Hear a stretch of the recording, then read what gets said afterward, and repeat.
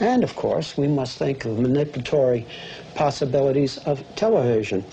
It has its own tremendous possibilities. Violence broke out again last night as some young people were prevented from meeting peaceably in the downtown area by noticeably nervous, if not to say trigger-happy police.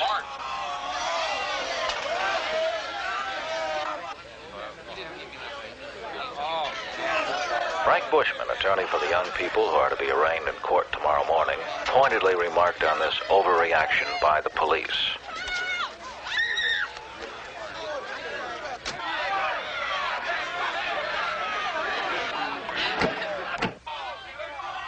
I hereby declare this an unlawful assembly.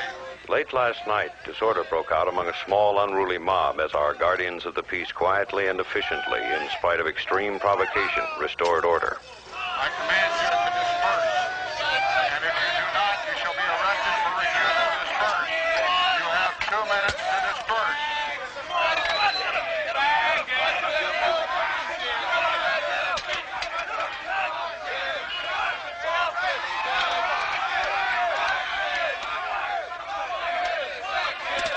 It is important that our courts make an example of these hoodlums and hand out the kind of sentences they so richly deserve. We staged this scene. We filmed it to show the television can tell any story that it wants to tell. In both versions, the action was the same, and the actors did exactly the same things. However, the camera was placed differently. The editor edited differently, and the announcer told a different story. We would be naive not to realize that what we're seeing is an edited symbol.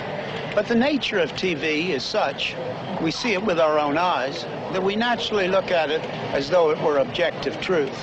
For many, what they see on television is more true than what they see with their eyes in the external world. Let me stress, it is always unfair to say the media does this or the press does that. There are always individuals or individual publications, for example, that are not included in the generalization. But the mass media can be used by an authoritarian manipulating government or an elite. The elite gives the arbitrary absolutes, and then not only TV, but all the mass media can be used for manipulation. And a plot or conspiracy are not needed. All that is needed is that the people in the places of influence and those who decide what is the news have in common the modern results of humanism, the modern worldview, which we have considered at length in this series. When the perspective, the worldview of the elite, coincides with some of the influential news carriers, it does not have to be all, then either consciously or unconsciously, the media becomes an instrument for manipulation.